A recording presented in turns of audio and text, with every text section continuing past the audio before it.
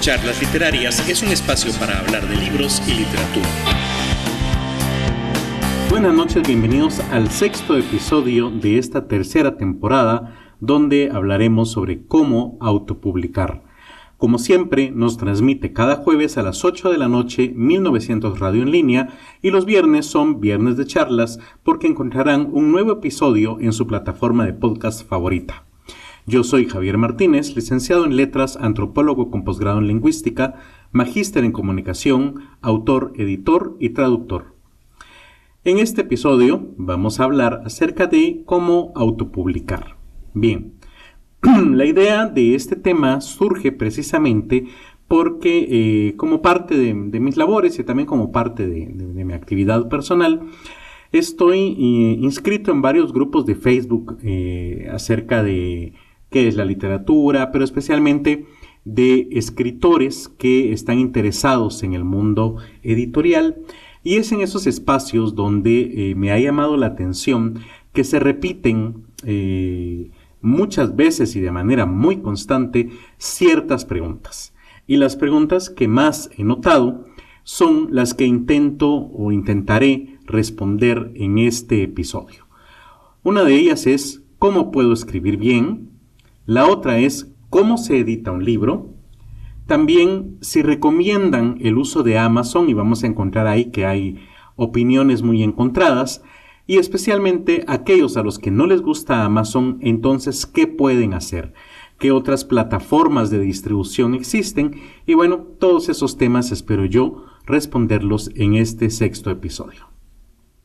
Sin embargo, para comenzar, debemos aclarar qué significa eso de autopublicar. Autopublicar implica que el autor se conoce, se hace responsable de su autoría, pero también de la edición, diagramación y comercialización de su libro.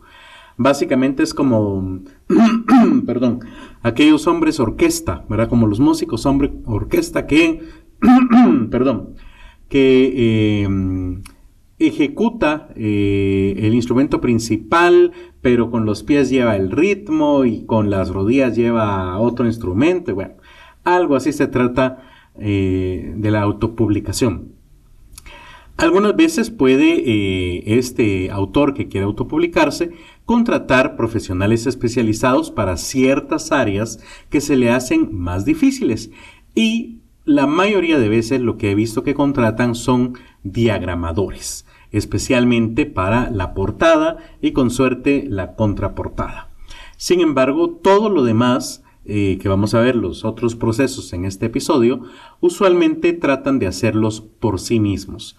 Em, casualmente ayer precisamente le comentaba yo a uno de los participantes en esos espacios de esos grupos que em, le recomendaba contratar un servicio profesional de corrección de estilo. Entonces me dice, eh, sí, es que no tengo dinero, entonces quiero hacerlo por mí mismo.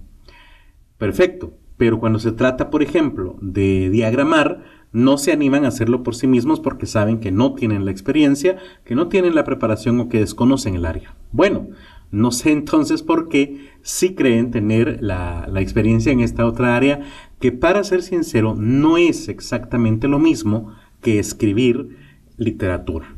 Para nada, de hecho son dos, dos temas completamente distintos que espero desarrollemos hoy.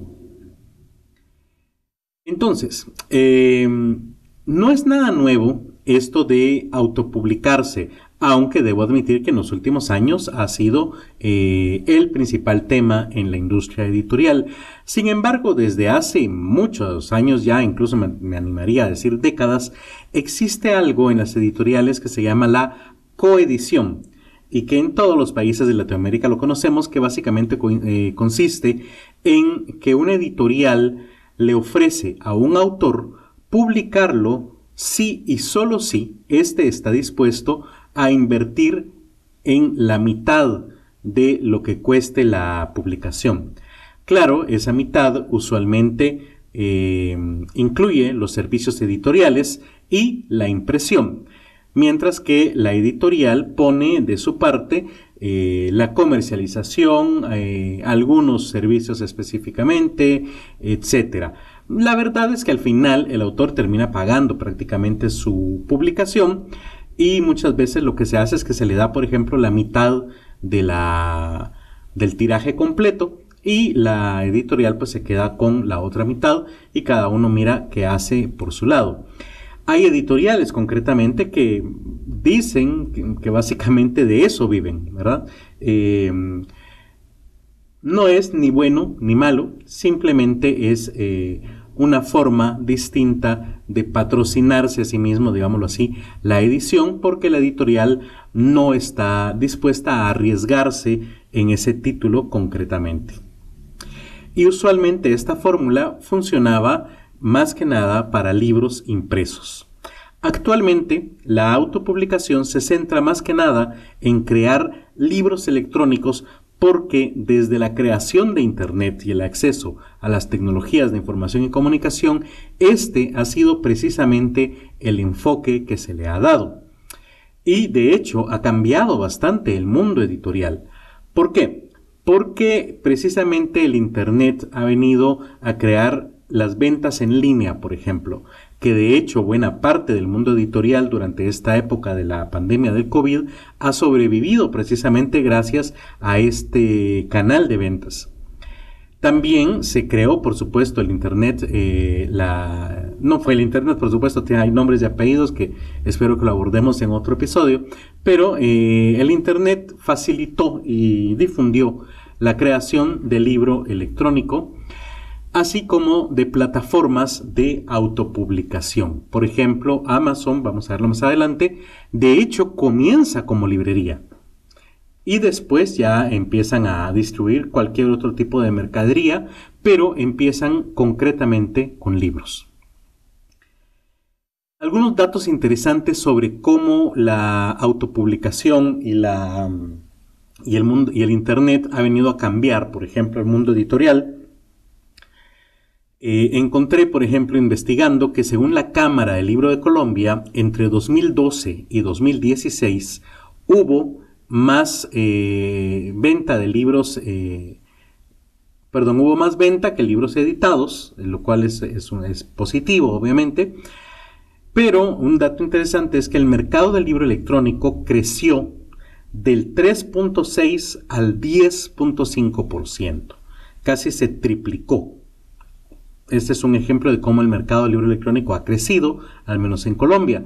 Mientras que en Argentina, la Cámara Argentina del Libro indica que entre el 2016 y 2020, la versión digital más la nativo digital pasó del 17% al 37%. También prácticamente se triplicó. Así que de manera general podemos hablar de una triplicación del mercado del libro digital que además no se ha detenido, sino que todo lo contrario está en constante expansión. Por cierto, eh, un dato interesante es que la Cámara Argentina del Libro hace la diferencia entre una versión digital y el nativo digital en el sentido en que hay libros que se venden en versión impresa y en versión digital y aquellos nativos digitales son los que nacieron como libros digitales y se mantienen como tales. Muy bien. Otro dato interesante es que las editoriales argentinas eh, en el 2020 publicaron 9.726 libros y la autoedición llegó a 4.983, perdón, 4.683 ejemplares, casi la mitad. ¿sí? Entonces es interesante que casi la mitad de libros eh, que se han publicado en Argentina, eh, o los libros digitales de Argentina, llegan a sumar casi la mitad de los que se publican en papel.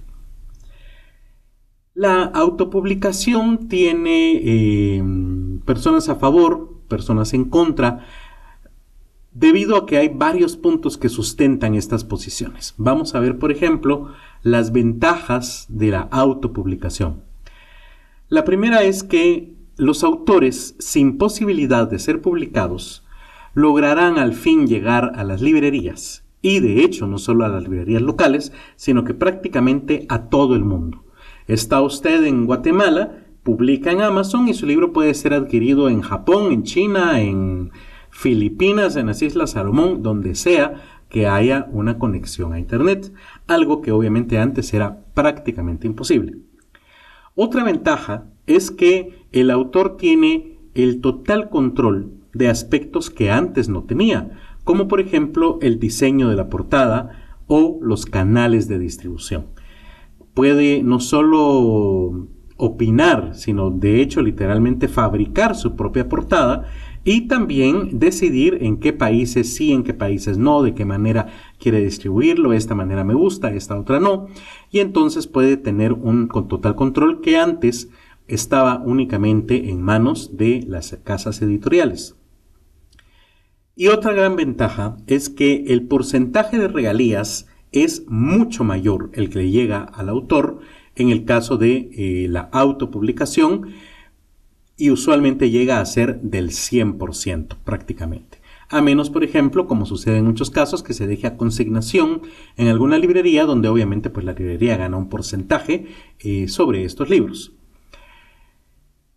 Otra ventaja es que para autopublicarse eh, existen muchos videotutoriales en YouTube, por ejemplo, existen libros gratuitos de hecho sobre cómo fabricarlos e incluso podcasts como este donde abordamos el tema de la autopublicación. Pero no todo es positivo. Por supuesto que la autopublicación también tiene sus desventajas. Mientras que habíamos hablado de que eh, todos los autores tienen ahora la posibilidad de estar publicados, al final se convierte también en una desventaja, porque se publican muchos libros sin un filtro de calidad literaria. Básicamente ahora literalmente cualquiera puede eh, publicar un libro, aunque esté mal hecho, mal fabricado e incluso mal redactado. Muchas veces en estas mismas páginas de, redes sociales que les menciono, eh, los autores reflexionan al respecto porque eh, muchos comparten sus libros, que perdonen usted, pero que incluso a veces llegan a tener faltas de ortografía de nivel de primaria. ¿sí? Entonces, pues sí, eh, la democratización lleva también a la posibilidad de que libros muy mal hechos se difundan.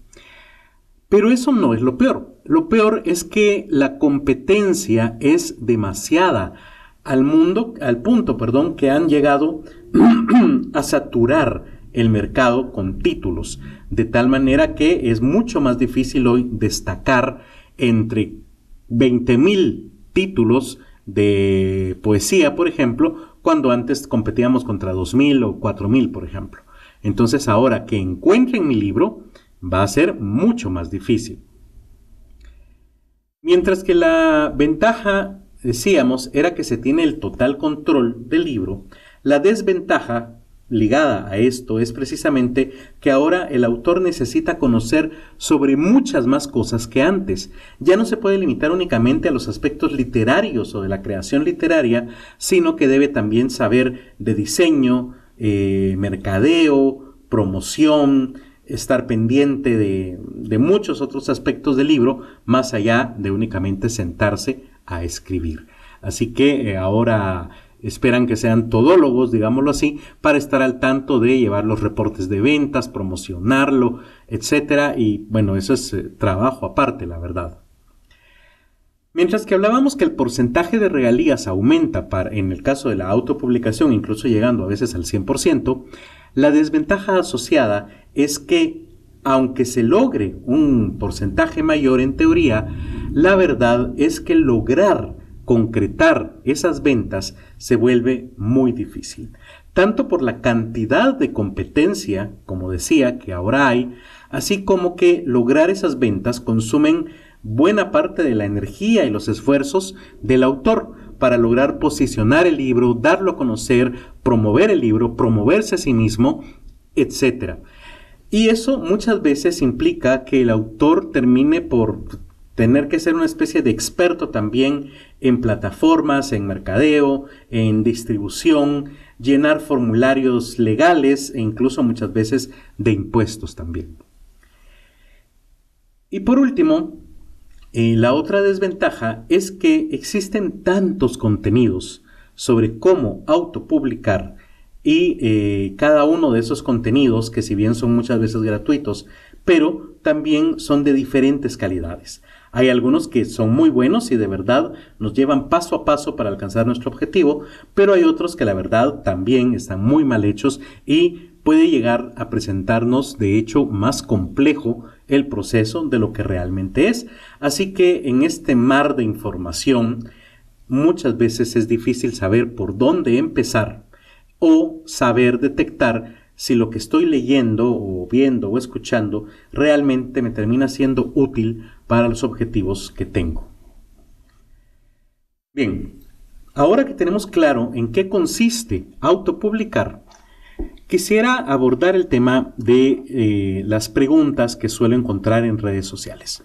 Como les decía, la primera que veo muchas veces es ¿cómo puedo escribir un buen libro? Bueno, ya hablaba de eso creo en otro episodio y la verdad ya no quiero volverlo a, desarrollar porque creo que lo he hablado varias veces, pero básicamente les puedo dar algunos consejos. Por ejemplo, ¿cómo pueden escribir bien? Escuchen eh, este podcast, por ejemplo. No solo este episodio, sino los de las tres temporadas que llevamos ya, y eso los va a ayudar. También existen, por supuesto, otros programas que son de muy buena calidad, tanto en video como en audio, que los pueden ayudar. Otro recurso podría ser el tomar cursos de creación literaria, por ejemplo, en la editorial Kazam A, por ejemplo, tenemos el taller de creación literaria eh, que se abre más o menos tres veces en el año y eh, que pueden consultar en la página www.casama.com. Pero eh, pues no solamente esta editorial los, los tiene, los imparte, básicamente casi todas las editoriales los, los ponen a disposición de las personas, así como academias en línea con distintos eh, autores. Otra forma de aprender a escribir bien es crear grupos de lectores beta. Básicamente, este es un tema también que ha estado en boga los últimos eh, meses en, las redes sociales. Un lector beta básicamente es lo mismo que la validación de pares en la ciencia. Me refiero a eh, yo como escritor tengo a dos lectores, por ejemplo, beta. Los he elegido porque sé que son lectores ávidos, sé que tienen una opinión que yo respeto, que me parece interesante, que realmente van a lograr ahondar con su opinión en cuestiones estructurales de mi, de mi obra. No solamente me lo van a devolver diciendo, ay, sí está bonito, además tienen el compromiso real de leerlo, no solamente van a hacer como que lo leyeron o nunca lo van a leer. Y entonces es un compromiso, sobre todo ese compromiso se logra porque cuando ellos publiquen algo, me lo van a dar a mí también para que yo haga y responda de la misma manera que ellos me respondieron. Al final es una especie de taller literario, pero entre pocas personas que son muy responsables y conocimientos, con conocimientos profundos acerca de la literatura. Básicamente, es muy parecido a editar o a hacer una evaluación de una obra literaria para la posibilidad de publicarla. Es algo relativamente parecido. Lo que pasa es que muchas eh, editoriales, cuando reciben obras para evaluar su publicación, únicamente contestan sí o no, pero no indican el por qué, precisamente para no eh, volverse un lector beta y luego recibir miles y miles de obras que no valen la pena. Eh, pero en algunos casos sí decimos, en el caso de la editorial Casam A, por qué estamos tomando esa decisión. Y lo haremos hasta que sea posible. Otra recomendación que les hago para aprender a escribir bien es leer, definitivamente, especialmente el tipo de literatura que desean escribir. ¿Quiere usted escribir poesía? Lea mucha poesía. ¿Quiere usted escribir novelas románticas? Lea muchas novelas románticas. De verdad he visto en estos grupos de, escritores algunos que quieren escribir pero no leer. Y lo dicen abiertamente y todavía con orgullo, ¿verdad? Eh, es un error, es un grave error. Si usted no lee, perdóneme, pero lo que va a escribir seguramente no va a ser bueno y seguramente es lo que muchos otros están escribiendo, sin nada novedoso, sin ningún giro argumentativo interesante, algo más bien plano. Eh, tal vez lo que estoy diciendo sea un prejuicio, seguramente por ahí exista una eh, excepción a la regla, pero en términos generales, si usted no lee, eh, pues básicamente va a obtener un resultado mediocre de lo que va a hacer. Y por último, recordarles que no existen recetas mágicas ni tips para crear eh, obras maestras, bestsellers u obras literarias de gran calidad. Si existiera un tip, una lista eh, de características, pues créanme que todos la compartiríamos y desde hace unos 700 años todos estaríamos eh, publicando obras que no dejan de asombrar a la humanidad entera, cosa que obviamente no sucede. La otra gran pregunta que hacen en las redes sociales es, ¿cómo se edita un libro? Bueno, eh, otra vez este es un tema que ya he abordado precisamente en este podcast, concretamente en el tercer episodio de la segunda temporada, eh, titulado El proceso editorial. Les recomiendo ponerle pausa a este episodio, escuchar ese otro episodio y regresar. Si no, de todos modos puedo darles algunas sugerencias eh, generales acerca de ciertos aspectos. ¿Cómo editar un libro? Bueno, en el aspecto literario, yo les propongo que se pregunten y se respondan sinceramente lo siguiente. ¿Su libro cumple con las características formales del género elegido? En otras palabras, ¿está usted escribiendo una novela? ¿Realmente es una novela? ¿Tiene las características de una novela? ¿Es un cuento? ¿Realmente llena, satisface las expectativas de un cuento? Y Así nos podemos ir por todos los géneros literarios. Otra pregunta en este aspecto podría ser, ¿su libro es novedoso o tiene algún valor agregado en comparación con el resto de obras similares? En este caso, por ejemplo, yo veo en, estos mismos grupos de redes sociales mucha preocupación por mostrar siquiera dos líneas de lo que llevan escrito porque temen que les roben la idea o que los plagien. Alguien alguna vez preguntó qué tan posible era eso y le contestaba yo precisamente con esta pregunta. ¿Realmente tu obra, le decía yo, es tan extraordinaria, es tan distinta, es tan envidiable que alguien va a decir, vale la pena realmente sacrificar mi honor, mi renombre e incluso la posibilidad de una demanda económica para hacerme pasar por su autor? Yo les soy sincero, yo creo que muchas veces no.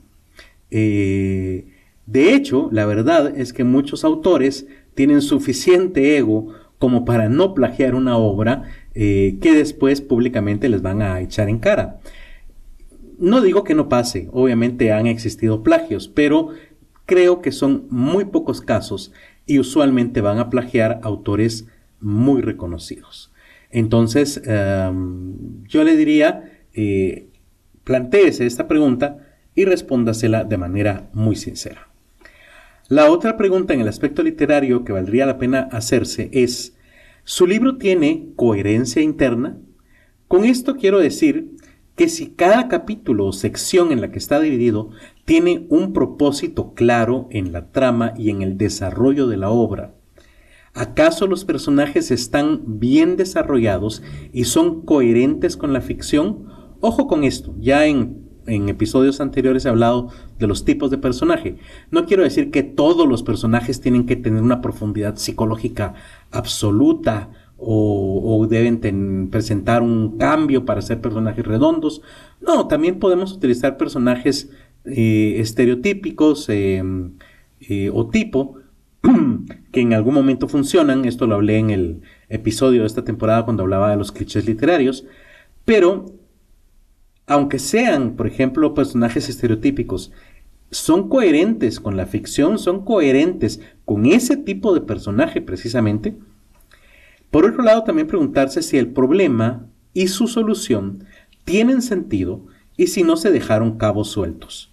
También vale la pena preguntarse si la obra presenta demasiados clichés literarios, de los que hablaba hace un rato, y que les recomiendo en este caso escuchar el segundo episodio de esta tercera temporada para saber qué clichés existen y más o menos eh, poderlos detectar. Todo lo anterior es una edición en el aspecto literario, pero también hay aspectos técnicos que tomar en cuenta en la edición. Por ejemplo, preguntarse si su libro tiene erratas, errores mecanográficos u ortográficos y si en general su libro está bien redactado. Obviamente para esto la única solución es leer y releer muchas veces la obra y también eventualmente dejarla descansar porque a veces nos llegamos a, saber incluso la obra que estamos escribiendo de memoria y entonces asumimos que leímos algo cuando realmente no estaba escrito. Usualmente pasa con las preposiciones. Por ende es bueno a veces dejar descansar si es una obra larga, uno o dos meses y, y retomarla hasta entonces, o pedirle a una tercera persona ojos frescos para leerla y que vaya marcando ese tipo de errores, por, por ejemplo. Obviamente esa persona debe saber también tanto como nosotros o más de redacción, ortografía, etcétera, porque si no va a terminar agregando más errores a la obra. En el aspecto técnico también habría que preguntarse si la diagramación de las páginas internas es amigable al lector en cuanto a tamaño y tipo de fuente, así como en general en su estructura de espacios. Estoy estandarizando el uso del espacio, por ejemplo, entre párrafos, la sangría, el espacio entre títulos y primer párrafo, o entre títulos y subtítulos, entre subtítulos y el último párrafo anterior y el primer párrafo siguiente. Eh, los números están correctamente alineados todos, este tipo de, de cuestiones de diagramación. La otra pregunta técnica podría ser si la portada, la contraportada y el lomo coinciden realmente en tamaño con el libro que quiero hacer en este caso, ¿verdad? En este caso, pues imprimirlo, hacer pruebas, porque muchas veces puede ser que en pantalla lo veamos de cierto tamaño, pero a la hora de imprimir no funcione. Muchas veces esto pasa también cuando a la impresión en PDF incluimos líneas de corte o incluimos algunos signos de impresión o de imprenta que de alguna manera reducen el tamaño. También eh, a la hora de mandar a imprimir, reducir al tamaño de la hoja o utilizarlo al 100% nos puede generar algún tipo de error. De tal manera que al final, aunque creamos tenerlo bien, puede ser que nos dé algún problema. Y por último, en cuanto a editar, algunos aspectos comerciales valdría la pena también preguntarnos antes de lanzarnos o de emprendernos en esta aventura. Por ejemplo, tu libro tiene una, una cantidad de páginas o caracteres y un empastado que permita ofrecerlo a un precio competitivo. Por ejemplo, em, hace unas cuatro semanas estaba evaluando un libro que nos enviaron aquí a la editorial que a la hora de mm, calcular su paginaje resultaba ser un libro de 650 páginas. Es un libro que, al menos para esta editorial, se sale completamente no solo de nuestras posibilidades eh, económicas, sino que en general nunca hemos publicado un libro tan grande. Incluso pensar en publicarlo en dos tomos era económicamente inviable porque el precio del libro terminaría siendo tan elevado que tendríamos muy pocas ventas y eh, el riesgo de sacar un tiraje, por muy pequeño que fuera, de ese libro era demasiado elevado, tomando en cuenta que el autor, pues la verdad no era conocido y que la obra, aunque era mm, medianamente buena, pues no era extraordinaria y todavía había que trabajarla bastante y se lo comunicamos al autor y, y bueno, esperamos que de hecho en estos momentos él esté trabajando en su obra. Eh, pero eso es importante, o sea, ¿realmente estamos escribiendo una obra que, es comercial o es una obra tan grande o incluso a veces también tan pequeña que no sea comercial? Precisamente en estos grupos de, de, redes sociales que les comentaba, preguntaba a alguien si era viable hacer un libro de 40 páginas. ¿Es viable? Claro que sí. Ahora la cuestión es que con un libro tan corto muchas veces va a encontrarse con quejas de los compradores porque no les va a parecer el precio al ver un libro tan pequeño. Eh, casi siempre, casi nunca un libro grueso eh, presenta reclamos, pero un libro pequeño sí, a la gente no le gusta pagar por un libro que sea tan pequeño. La otra cuestión es, si usted va a promocionar sus libros y a gestionar las ventas y los envíos, es probable que un libro tan pequeño termine siendo más barato que el envío y entonces a la gente tampoco le va a parecer pagar cierta cantidad por el libro y pagar más que por el libro por el envío. Entonces hay que verlo en, aspectos comerciales también. En este aspecto, también preguntarse si la portada que se diseñó destaca dentro de las miles más que va a encontrar la otra persona en la librería física o en línea y si llama realmente la atención. Y ojo con esto, porque muchas veces tenemos cierta estética y la queremos imponer. Es viable, pero eh, bueno, eh, no sé. Eh, otro problema que encuentro muchas veces es que quieren poner ciertas ilustraciones, por ejemplo, el, primer dibujo de mi hijo o, un dibujo que yo hice a lápiz y realmente no soy tan buen dibujante. Y entonces, no, termina perjudicando más ese tipo de portada que realmente una portada bien diseñada. Otra cuestión es que muchas veces también, ya que nos da miedo hacer el trabajo de un diagramador, pero no el de un corrector de estilo o el de un editor, entonces utilizamos plantillas que nos dan muchas plataformas para diseñar nuestro propio portada y contraportada y terminan siendo, aunque funcionales, bastante eh, insulsas, bastante sin, poco llamativas, digámoslo así. Y por cierto, muchas veces también habría que preguntarnos si la portada es coherente con el título, porque he visto ciertas portadas que mm, no mucho. Eh, también, y aquí quiero tomarme un segundo para hablarles, cierto tipo de portadas. miren, si van a utilizar ilustraciones, tienen que ser buenas ilustraciones. Muchas veces he visto ilustraciones, sobre todo en, eh, cuanto a proporción del cuerpo humano, eh, que están muy mal. Y eso más bien es se siente un rechazo hacia la obra. Eh, eh, recordemos que todo entra por los ojos, ¿sí? Y una portada fea, la verdad es que por muy bueno que sea el libro, puede ser que pierda muchas ventas. Otra cuestión es que hay composiciones que eh, son lugares comunes prácticamente. Por ejemplo, el libro de poesía que tiene una rosa en la portada. O un florero, valga la redundancia, con flores, muchas veces rosas. Eh, no, perdóneme, pero si yo miro un libro de poesía con una rosa en la portada, ni siquiera lo abro. Es un cliché total y absoluto. Lo mismo fotografías del cielo, fotografías de aves, fotografías de aves eh, en, los cables de la calle de luz eléctrica, por ejemplo. Eh, otro cliché, vamos a ver, Ay, tenía uno en, mente en este momento, pero no lo recuerdo. Era. Ah, era acerca de poesía, pero. Bueno, ah, sí. Eh, una mano con una pluma. Eh, con una pluma fuente, escribiendo con, obviamente, con una muy bonita caligrafía sobre un pergamino, ¿sí? Eh, o una pluma, no fuente, sino estas plumas que se utilizaban por allá del siglo XVI más o menos para escribir sobre un pergamino. Ese tipo de diseños. Peor, una mano con una pluma escribiendo en un pergamino con una bonita eh, caligrafía y una rosa, menos. ese es el cliché de los clichés, sobre todo para un libro de poesía. Entonces busquemos cosas diferentes. Saliendo ya del tema de la portada, eh, eh, y espero no haber ofendido a nadie, pero sí son clichés. Es importante que pongamos especial atención en el aspecto comercial al título Debería ser un título corto. Cuando hablo de corto, quiero decir que puede escribirse en una línea, exagerando en dos, y yo no usaría jamás más de siete palabras, eh, y que sobre todo enganche al lector, que al leerlo uno diga, ah, esto me interesa, ¿sí? Y también la contraportada es importante, porque la contraportada es el cierre de la venta.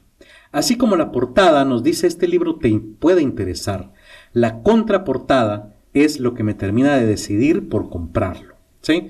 Ahí conozco al autor, entiendo por qué escribió ese libro y por qué es un experto en este tema, por decir algo, y también conozco las generalidades del libro para saber de qué va a tratar.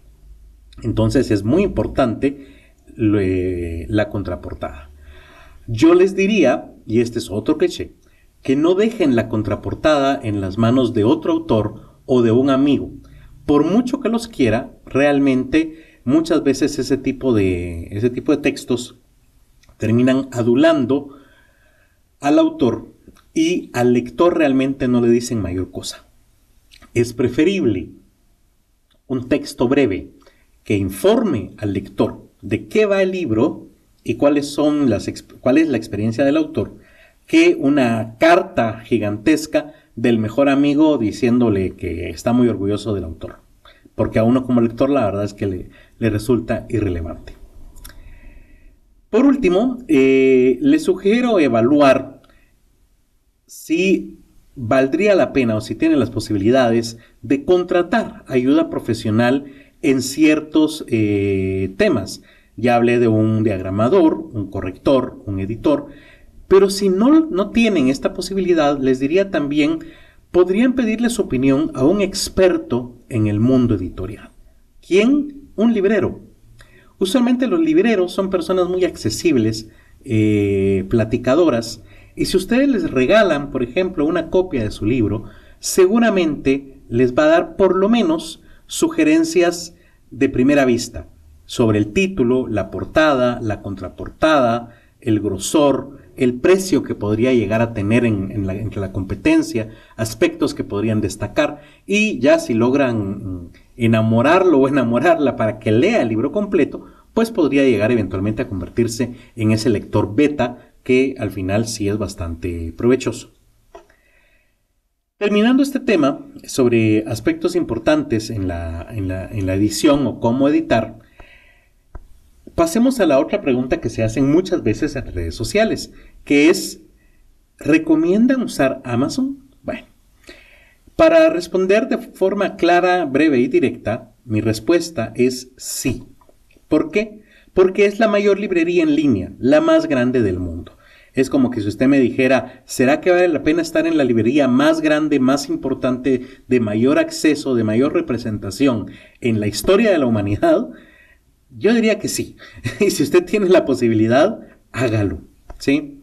Además, Amazon le permite ofrecer, además de su libro impreso, en varias eh, opciones, tamaños, tapa blanda, tapa dura, y a la vez participar, eh, perdón, también ofrecerlo como libro electrónico y participar en programas especiales, como por ejemplo Kindle Unlimited, que consiste en que los, eh, las personas que tienen Kindle pagan una suscripción para poder descargar cierta cantidad de libros eh, de Amazon de manera gratuita, entre comillas, porque pues ya están pagando su suscripción, pero entonces su libro entra en este programa, así que es posible que llegue a más personas.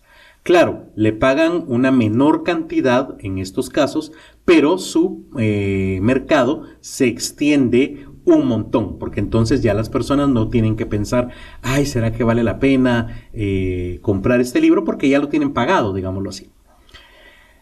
Otra de, las, de los programas que ofrece Amazon, por ejemplo, es Matchbox, que eh, permite ofrecerle a la persona que compre su libro impreso la versión electrónica por mucho a menor cantidad de dinero. Eh, a veces eh, compramos un libro impreso, lo olvidamos en casa y nos toca hacer una larga cola, decimos, qué lástima que no traje el libro, y entonces si están en Matchbox, en Matchbox perdón, eh, pueden verlo en su celular, en su tableta, etc. Y de esa manera continuar con la lectura. Y otra gran ventaja de Amazon es que pueden ponerle el precio que ustedes quieran a su libro y participar en varios mercados que eventualmente pueden elegir. ¿Por qué digo eventualmente? Porque es una de las desventajas. Vamos a hablar ahora entonces de las desventajas que presenta Amazon y el motivo por el cual bastantes escritores no recomiendan inscribirse en su programa. Primero, es complicado, la verdad, comenzar a vender por la gran cantidad de papelería que exigen. Y sí, exigen, por ejemplo, eh, copia del documento personal de identificación, de mm, su número de registro tributario, eh, y bueno, no recuerdo en estas alturas eh, eh, qué otro tipo de papelería, pero sí hay que enviarlas a un correo especial, escaneadas, y además llenar varios registros e incluso formularios jurados que acerca del pago de impuestos. Cosa que muchas personas ahí es donde ya no se sienten cómodas ya que tienen que jurar ante otro estado que, por ejemplo, pagan cierto tipo de impuestos o eh, la papelería es un poco compleja de comprender y esa papelería usualmente está en idioma inglés. Entonces, eh, hacer todo ese trámite por vender un libro o dos, tal vez en nuestra vida, es un poco complejo. En el caso de una editorial, pues vale la pena porque se hace una vez y está uno constantemente subiendo libros a esta plataforma. Sin embargo, para un individuo con un título o dos, pues puede ser eventualmente un poco desgastante y, frustrante también. Otra desventaja de Amazon es que es bastante complicado utilizar y llenar los requisitos de calidad técnica para poder subir los libros a las plataformas. Esto sobre todo sucede obviamente en las primeras veces y en especial para la versión impresa de los libros.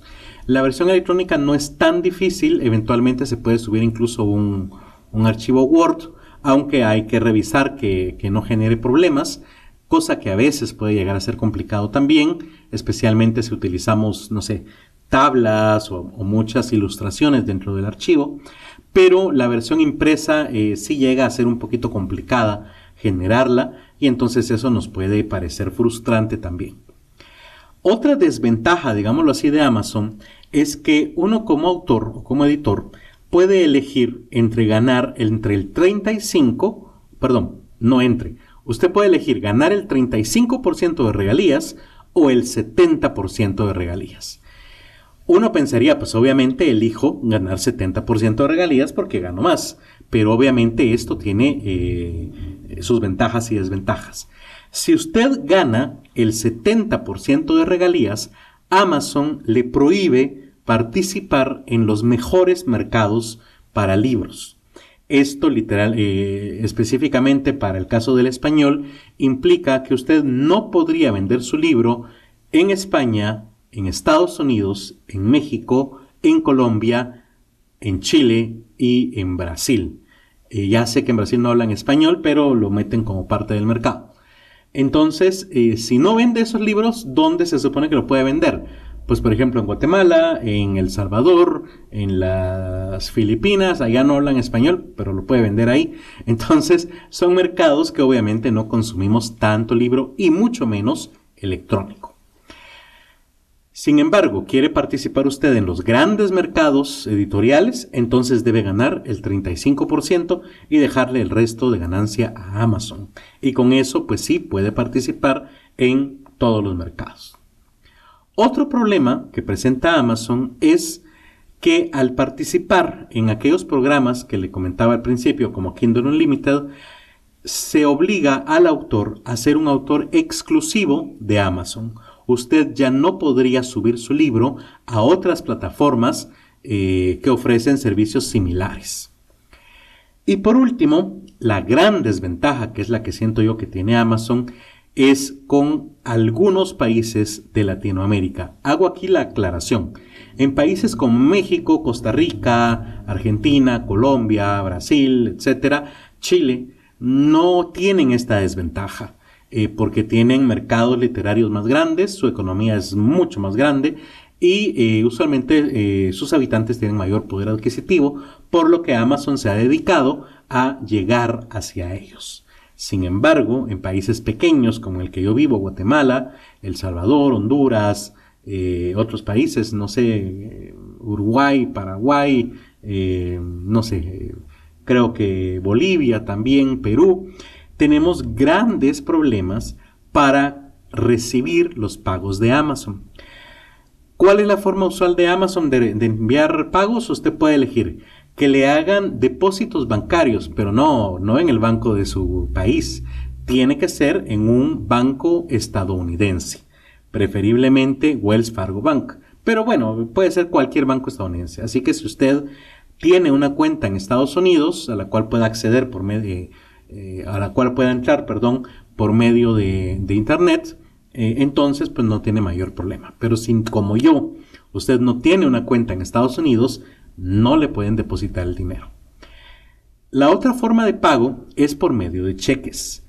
Esto, al menos en mi país, por ejemplo, es un grave problema porque aunque ya tenemos correo, Usted dirá en qué país vive Javier Martínez, pero eh, en Guatemala hubo muchos años, eh, casi dos décadas, en la que no hubo correo por problemas de corrupción interna.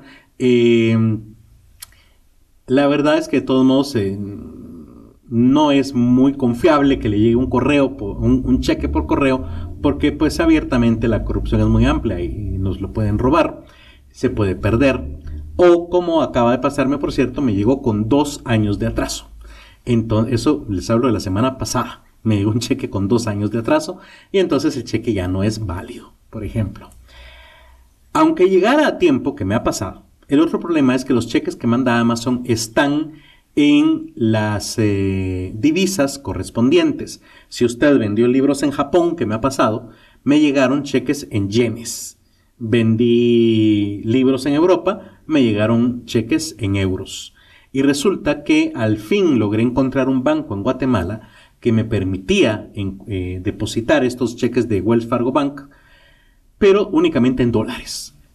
Todos los demás cheques en otro tipo de divisas simplemente no los aceptaban.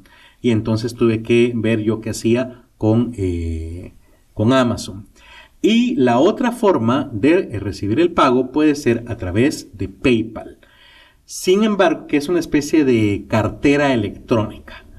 Sin embargo, PayPal tampoco trabaja con Guatemala. Quiere decir yo puedo conectar PayPal a una tarjeta de crédito débito guatemalteca y depositar de mi dinero en PayPal para hacer compras, por ejemplo. Pero no la puedo usar como proveedor. No puedo pedir, bueno, sí puedo pedirle a Amazon que me pague en PayPal y tener mi dinero ahí. Pero lo que ya no puedo hacer es pasar el dinero de PayPal a una cuenta bancaria guatemalteca, por ejemplo. No puedo convertir ese dinero de PayPal en quetzales de verdad, en papel moneda, para poder ir a la tienda del barrio de la esquina y comprarme una Coca-Cola, por ejemplo. No se puede.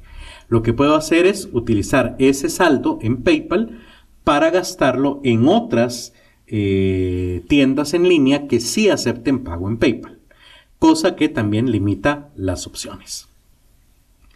Muy bien, entonces, ¿es bueno o es malo Amazon? Depende en qué país esté usted, depende qué posibilidades tiene usted eh, y sobre todo si usted tiene paciencia para llenar los formularios, una buena cantidad de libros que valga la pena llenar los formularios y si tiene una cuenta bancaria en Estados Unidos, lo ayudaría de sobremanera.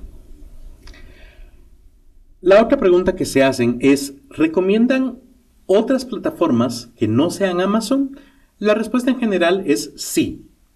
Además, vale la pena ampliar la posibilidad del mercado al cual usted pueda llegar. Si el Internet nos permite llegar a, tener acceso a información, pues entre más disponible esté, mejor. Sin embargo, recordemos que cada una de esas plataformas tiene sus propios requisitos para que usted pueda subir sus obras y también sus propias plataformas que tienen diferentes formas de utilizarse. Entre las más conocidas está Wattpad, que eh, muchas veces la critican por ser o, centrarse en obras románticas, especialmente dirigidas a quinceañeros, eh, y que solamente le pagan a un autor cuando éste llega a tener muchos miles de, de vistas o de lecturas. ¿verdad? Por cierto, Amazon solamente le va a mandar cheque o hacer un pago cuando usted haya logrado juntar 100 dólares de regalías. Así que si usted tiene, por ejemplo, 50 dólares, 35 dólares, 75 dólares, jamás le va a hacer un depósito. Tiene que esperar hasta juntar 100.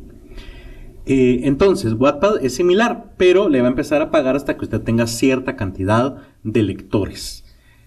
Otra plataforma que les recomiendo es Smashwords, la cual eh, le permite distribuir a muchas otras plataformas, pero no eh, agrega ninguna forma de protección de derechos de autor.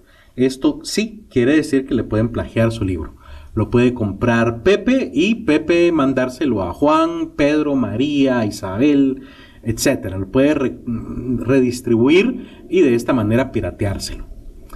Otras plataformas importantes son, por ejemplo, iBooks, que es la de Apple, pero en este caso se requiere que usted tenga una computadora marca Apple, No estoy bromeando, es muy en serio. Usted tiene que tener una plataforma, una computadora Apple, además de modelo reciente, en la cual descargar un programa especial para poder subir sus libros a, esta plataforma de Apple. Y hay otras, por supuesto, como por ejemplo Barnes Noble, Google Books y muchas otras. ¿Cómo llegar a la mayoría? Yo lo que le recomendaría es contratar a un agregador. Una empresa agregadora de lo que, lo que hace es que usted sube el libro con ellos y ellos se encargan de redistribuirlo a ese montón de plataformas y de lidiar con los distintos formatos y de hacer los cambios que sean necesarios, recopilar la información, recopilar los pagos Obviamente se van a quedar con una comisión por todo esto. O sea, por ejemplo, si en Amazon usted ya tenía el 35% nada más de regalías, tendrá que darles el 5 o el 7% a este agregador para que le den su 27%, supongamos, eh, de las ventas. Pero es mucho más sencillo que estar lidiando con cada una de las plataformas y sus distintos requisitos y sus distintas características. Retomando entonces, lo que yo le diría que es importante a la hora de pensar en autopublicar es definir concretamente qué quiere hacer usted con ese libro que quiere autopublicar. ¿Quiere hacer dinero extra con ventas eventuales de su libro? Ok, es una buena idea. ¿Quiere vivir de esto? Es posible, pero muy difícil. Y concretamente de un solo libro no lo va a hacer. Tendría que pensar en tener por lo menos de cinco libros en adelante en distintas plataformas. Eh, y aún así le diría que realmente es solamente un dinero extra. ¿Se quiere dar a conocer como autor? Ok, eso es más factible y eso creo que es un objetivo que sí puede lograrse. ¿Quiere ser descubierto por una editorial grande y que ellos lo publiquen en el futuro? Es un poco soñador, pero bueno, ¿acaso no soñamos todos, verdad? Y en ese caso, pues eh, habría que promocionarse más, habría que moverse más, pero eh, también es un objetivo, diría yo, bastante factible. Esto está muy ligado también con el concepto de éxito editorial. ¿Qué es alcanzar el éxito editorial? Quiero darles dos ejemplos. En 1937 se publicó El Hobbit de Tolkien y hoy, 85 años después, ha vendido 100 millones de copias. Esto quiere decir que se venden cerca de 1.18 millones de copias del Hobbit al año, alrededor de un millón pues, de, copias al año de este libro. ¿Es un éxito editorial? Yo diría que sí. Otro ejemplo sería Harry Potter eh, y la piedra filosofal, obviamente de Rowling, eh, que se publicó originalmente en 1997 con un tiraje de 500 copias, de lo que voy a hablar más adelante, que es como el estándar de un primer tiraje. Y hoy, 25 años después, ha vendido 140 millones de copias. Esto quiere decir que vende en un promedio de 5.6 millones de copias al año de Harry Potter. Y el último ejemplo que quiero darles es un libro publicado en 1998, El alquimista de Pablo Coelho, que a la fecha ha vendido 500 millones de copias. Quiere decir que vende un promedio de 20.8, casi 21 millones de copias al año.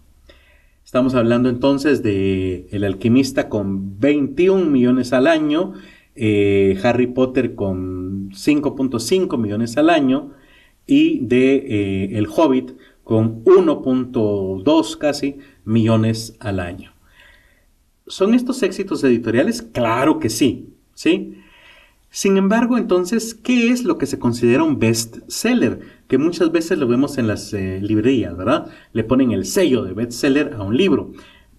Resulta que esta idea o este sello de bestseller varía de una editorial a otra. Lo que para Kazam A es un bestseller no es lo mismo que para otra editorial, ¿verdad? Eh, Grados, por ejemplo. Eh, sin embargo, en el mundo editorial se concibe o hay una definición generalizada que indica que el bestseller debe vender al menos 10.000 ejemplares en un año. Esto, eh, en todas las fuentes que encontré, siempre hacían la mención que era lamentable, porque no hace muchos años antes del COVID, eh, un bestseller debía vender 20.000 copias al año. ¿sí? Entonces, estamos hablando de 10 a 20.000 copias en un año. En otras editoriales, por ejemplo la del Planeta, conciben que un libro bestseller es aquel que vende en forma explosiva y muy rápida en sus primeros meses y años, y suelen definirse como page turners, o sea, que no pueden dejar de leerse. ¿sí?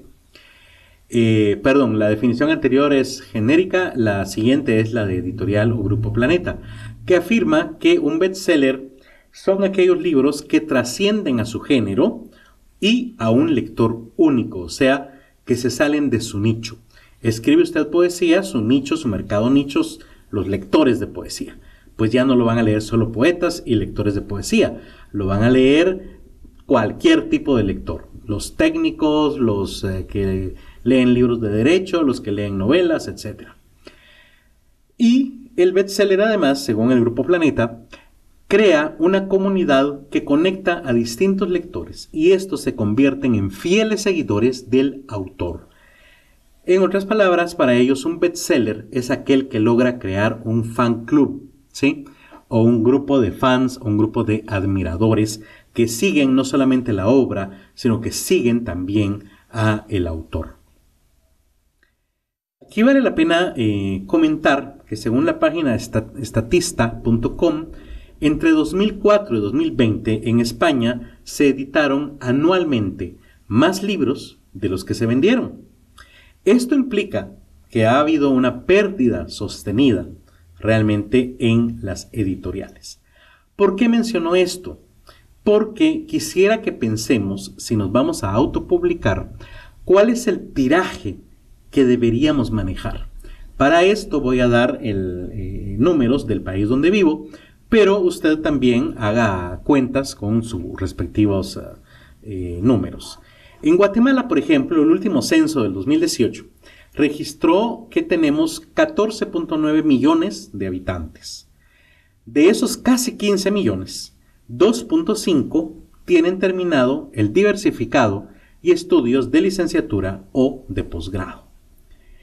¿Por qué me centro en este grupo? Porque voy a asumir, y este es obviamente un sesgo mío, es un prejuicio, si usted lo quiere, total y absolutamente, pero voy a asumir que las personas con estudios completos leen más o son más proclives a ser lectores que aquellas personas que no han terminado ni el diversificado. Supongamos que de esos 0.5 millones de personas que, han, que tienen estudios, eh, un quinto de ellos han logrado tener hábito lector. Aquí estoy siendo sumamente positivo y estoy teniendo altísimas expectativas. Dígame usted si no, coménteme en redes sociales si es verdad que una de cada cinco personas tiene realmente hábito lector. Yo diría que no, pero bueno, manejemos ese número.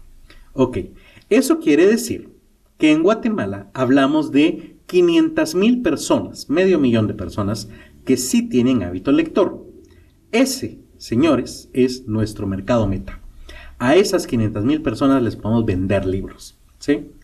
Ahora bien, imagínese usted que no podemos llegar obviamente al 100% de ese mercado. Y entonces nos vamos a quedar con un número bastante conservador.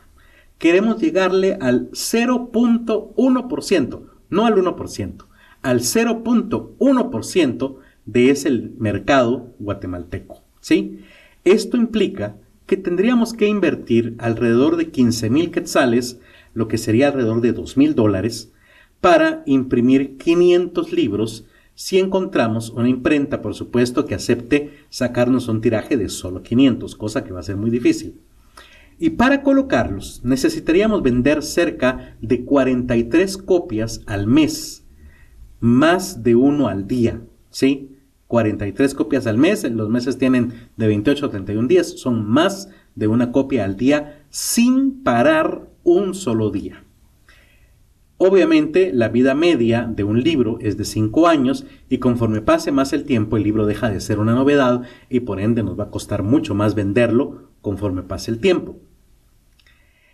Esto nos permitiría eh, pensar en cinco años de ventas, vender 100 libros al año, lo cual implicaría vender 8 libros al mes o vender 2 libros a la semana sin detenernos. Ok, dos libros a la semana. No puedo dejar ninguna semana sin vender al menos dos libros. Bueno, eso sí es algo viable, es algo a lo que digamos me puedo comprometer. Entonces, ¿cuál es mi tiraje? 500, como les dije. Además, tenemos que pensar que el autor tiene usualmente otros trabajos, otras cosas que hacer y a veces también otras obras pendientes de escribir y de promover. Así que eh, yo les diría 500 es un número, 500 libros para venderse en, cuatro, en 5 años es un número viable, básicamente. Y aún así, tiene usted la obligación de vender eh, dos libros a la semana. ¿Por qué les hablo también de 500 libros, eh, un primer tiraje? Bueno, además de que es el estándar en la editorial, en el mundo editorial, ya vimos que ese fue el tiraje, por ejemplo, de Harry Potter, y es también el primer tiraje de casi todas las obras a nivel internacional. Realmente eh, esto viene de una reflexión personal. Yo trabajé muchos años antes de trabajar en Casam A eh, en una editorial, en una de las más grandes de Iberoamérica, y sé de buena fuente, yo estuve ahí, que ellos manejan tirajes de 4.000 copias para una temporada de 4 años. Esto quiere decir que esperan, pues tienen la expectativa de vender mil libros al año. Pero cuidado, mil libros al año con una fuerza de ventas especializada dedicada a tiempo completo de entre 20 a 25 vendedores a nivel nacional. Además, es una editorial gigantesca multinacional que tiene todo el dinero del mundo para invertir en publicidad y promoción y además hacer uso de su renombre y de su fama para colocar esos libros. Si eso no fuera suficiente, no estoy hablando de libros de literatura, les estoy hablando de textos educativos. En otras palabras, están hablando de un mercado cautivo, donde a usted como padre de familia lo obligan, por así decirlo, a comprar el libro que eligió el docente o eligió el colegio. Si una editorial de estas características espera vender mil libros al año con 20 a 25 personas dedicadas todo el tiempo, no veo tan fuera de foco que pensemos en lograr vender 100 copias al año nosotros, como personas individuales. La verdad, al final de todo esto, es que usted nunca podrá saber si su libro es un éxito o no si no define desde antes los objetivos y las metas de una manera medible para que sea además eh, algo que pueda ir anotando, digámoslo así, y también de manera coherente y realista con eh, el contexto económico y lector de su país. ¿Le parece a usted muy poco un tiraje de 500? Bueno, hágalo de la cantidad que usted quiera, pero sepa que entonces tiene que mover cierta cantidad de libro y que ese libro tiene que estar a cierto precio para que sea competición, eh, perdón, para que sea competencia con otros títulos similares. Aquí aprovecho para hablarles de un servicio, por cierto, que presta la editorial Casam A, que se llama impresión bajo demanda. Como les decía, si usted piensa autopublicar, lo mejor es que contrate profesionales para cada una de las etapas. No solamente para la diagramación, que es donde usualmente se contratan. Quiere decir, contrate profesionales para la edición y para la corrección también. En este caso, hay empresas como Casama que ofrecen sus servicios editoriales y obviamente, entre más experiencia, mejor. Este es el tipo de servicio que definimos nosotros como impresión bajo demanda y que prestamos. Básicamente, la impresión bajo demanda es un paquete que ofrecemos a los escritores que se quieren autopublicar en formato impreso. ¿sí? Es para que tengan su, su libro impreso. Básicamente consiste en dos pasos. Un primer paso, y que tiene su propio costo, consiste en preparar el texto para que pueda ser impreso. Esto incluye la edición, la corrección, y la diagramación tanto de las páginas internas como de la portada, el lomo y la contraportada. Lo que usted se lleva al final del paso número uno es o son sus artes finales de impresión y una muestra impresa. En este caso se cobra dependiendo del tamaño del libro en el sentido de la cantidad de palabras que tiene. Una vez se tiene el arte final, se pasa al paso número 2, que también tiene su propio costo, el cual, y el cual es obligatorio si usted tomó el paso 1, eh, el cual consiste en la impresión. La característica en este caso en Kazam A es que usted puede elegir tirajes muy cortos, de 25 copias, 50, 100 y hasta 350 copias. Obviamente, al tener menor cantidad de tiraje, el costo puede llegar a ser un poco más alto que en una imprenta tradicional, pero al mismo tiempo eh, disminuye la incertidumbre en la inversión. ¿Qué quiero decir con esto? Mientras que en una imprenta tradicional le van a cobrar, por ejemplo, 30 quetzales por su libro, imaginemos este precio, lo van a obligar a sacar un mínimo de un tiraje de mil copias, ¿sí? Lo cual implica que entonces si el libro vale 30 y usted saca mil, es una inversión de 30 mil quetzales. Estoy hablando más o menos de 4 mil dólares. Mientras que con nosotros, ese libro sí le va a salir más caro, para hablarles clara y sinceramente. El libro que en una imprenta le salga a 30, tal vez con nosotros le salga a 45 quetzales. Pero con nosotros usted puede mandar imprimir 25 copias, lo cual sería una inversión de 1.125 quetzales o 150 eh, dólares. En otras palabras, en una imprenta tradicional, usted para sacar un tiraje de autopublicación de su libro tendría que invertir 4 mil dólares, pero con nosotros usted saca 25 e invierte 150 dólares, por darle un precio en general, no, no son precios reales, estos precios son mm, un promedio, digámoslo así, ¿sí? Eh, ¿Qué pasa cuando se terminan sus 25 copias? Pues puede mandar a pedir otras 25, otras 50, otras 100, dependiendo de lo que usted proyecte vender en la siguiente ocasión. Y aclaro que en este servicio, la editorial Kazam A no interviene en la distribución ni en la comercialización de su libro, lo que implica que el 100% de la venta es para usted. Y usted puede dejar su libro en librerías a consignación, promoverlo en redes sociales, montar su propia tienda en línea. Ya cómo usted lo distribuya y lo venda, ya es cosa de usted. Muy bien, aprovecho entonces ya para eh, despedirme. Les recuerdo, mi nombre es Javier Martínez y me encuentran en todas las redes sociales como PACAM. Los invito a seguir a nuestro patrocinador, la editorial Kazam A, tanto en Twitter, YouTube, Facebook e Instagram como arroba Kazam A. ¿Nos quieren apoyar? Pues gracias. Por favor, compartan y comenten este episodio en redes sociales y, ¿por qué no? Compren los libros o soliciten una cotización para los servicios de la editorial Kazam A. Les recuerdo que en los enlaces a estos servicios que mencioné van a encontrarlos en la descripción del episodio y nos escuchamos el próximo viernes de charlas. Charlas Literarias es producido y grabado en el estudio de la editorial Kazam A.